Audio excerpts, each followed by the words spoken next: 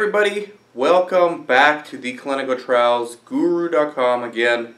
Theclinicaltrialsguru.com. So you guys have been sending so many questions about running a business in research. We just did the webinar. If you missed it, go check it out. It's the if you're on YouTube, it's the video right before this one. Uh, 12 months to seven figures in clinical research.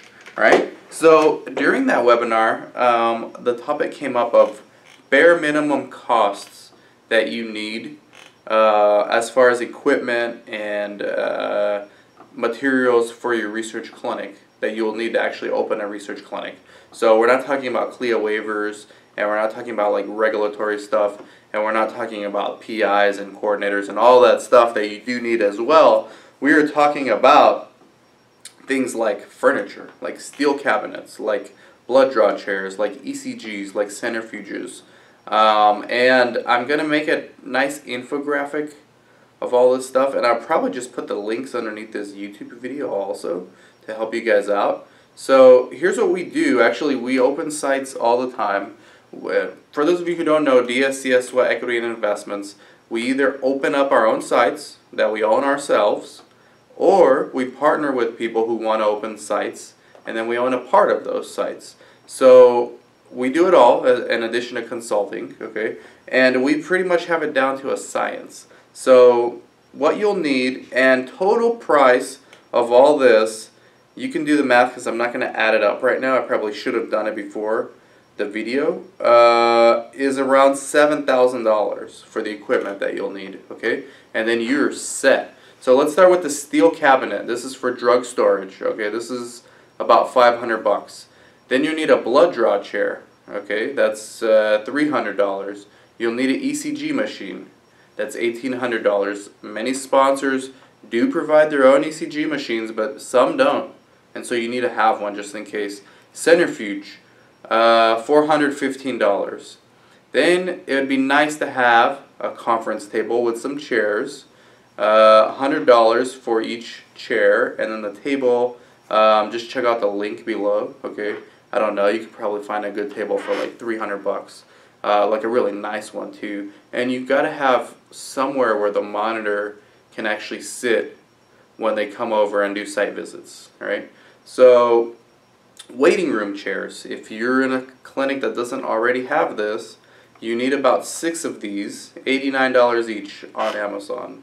Uh, thermometer for stored items. Order three of these uh, $55 each. So these are like for the room temperature thermometers. Uh, now you need an exam table. So the reason you need so many thermometers is you need, uh, sometimes you have ambient investigational product, sometimes you have uh, refrigerated investigational product, and also you need to keep track of the temperature in the rooms, like in the drug room, drug storage room, where you're going to put item number one, the steel cabinet, and if you're doing controlled substance studies, you need to have the steel cabinet bolted to the wall. Okay? Going back down the list, exam table, $414. A weighing scale, $180. Blood pressure cuff, $30. Printer, copier, fax, all in one, $490. An automatic blood pressure cuff, $69. Stethoscope, $30. These things are self-explanatory. If you don't know why you would need these, probably shouldn't be doing this uh, business, all right? Uh, a negative 20 degree freezer, $220, negative 20 degrees Celsius freezer, uh, $220. This is to keep things like PK samples, okay?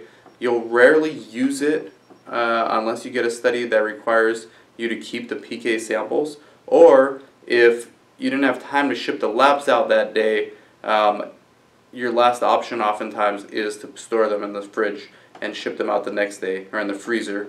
Uh, you'll need toner for the printers, $20. You'll need an ECG cart, uh, $55. Conference table, here's the price for that, $316, so right around what I predicted. A writing library table for exam room. This is where you'll go in the room where they do vital signs and your, your coordinator can sit there. In one of my clinics, we don't have that much space, so one of our coordinators sits in the exam room and we set up a desk for him there, and that's where he works also. Uh, that's $242. thermometer for uh, measuring temperature of the humans, like oral or uh, in the ear. Okay, a uh, writing another writing table for the study coordinator room. Uh, another two hundred forty-two dollars. Phone system, hundred eighty dollars. Uh, waiting room chairs. You can get nicer waiting room chairs and a locking refrigerator for the refrigerated investigational product. So you know, I don't want to bore you with the list. Just go through it, check out the links. This is these are the bare minimum requirements you need to open a research clinic. I think I'm gonna make a nice little infographic with this content on there, uh, just to keep it simple. And uh, yeah, so thank you guys very much for watching. And uh, if you need help with any of this, give me a call. My consulting firm can help, or maybe we can even partner with you.